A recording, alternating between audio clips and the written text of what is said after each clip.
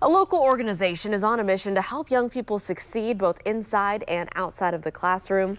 WRTV's Jessica Grundling is live in studio with how a partnership between Ivy Tech and Purdue Global helped one mentor get to where he's at today. Jessica?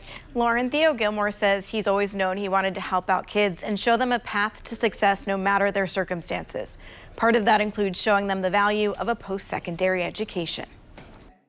Pictures from a turkey drive in his hometown of Demopolis, Alabama show the giving spirit of Theo Gilmore. Being someone the younger generation can look up to and kind of inspire them along the way. Here in Indy, he's doing just that. I'm a teacher mentor. Gilmore works at Elevate Indianapolis, a nonprofit educational organization on the east side.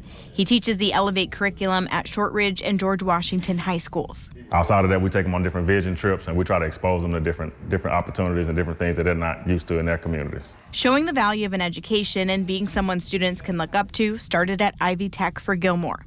After getting his associate's degree, a promise to his dad kept him going. I lost my dad in 2021, so he always told me, like, make sure you finish that degree. And I remember he came to the one at Ivy Tech. Um, so I'm like, Dad, you know, I did it. I, I finished. He's like, nah, go get the other one. So just losing him was always my reminder that I needed to finish. Gilmore saw that opportunity through the Pathways partnership between Ivy Tech and Purdue Global.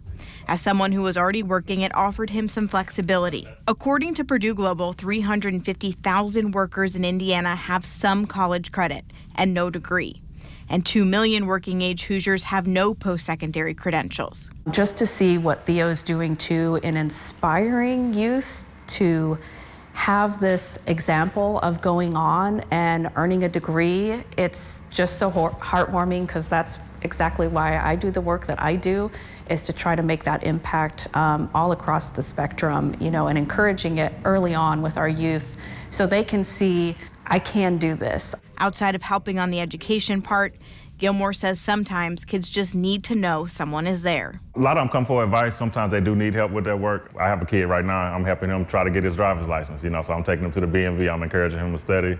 I also take him to basketball games, sporting events with me outside of school time. But they come to you for a lot. Sometimes it's just life things. Sometimes they just need someone to hang out with. Well, right now, about 96% of students in the Elevate program are set to graduate high school, and by 2033, they'll have served more than 2,000 students. That's awesome. Yeah. It's so cool to see him giving back after yes. the experiences he went through. So Yeah, and he said, you know, he grew up in a two-parent household. Not everyone gets mm -hmm. that, so he wants to be able to help and be kind of that role model for kids here. Yeah, kind of raising awareness that there's lots of different paths kids yes. can take. So, yep. Jessica, thank you yeah. so much for that.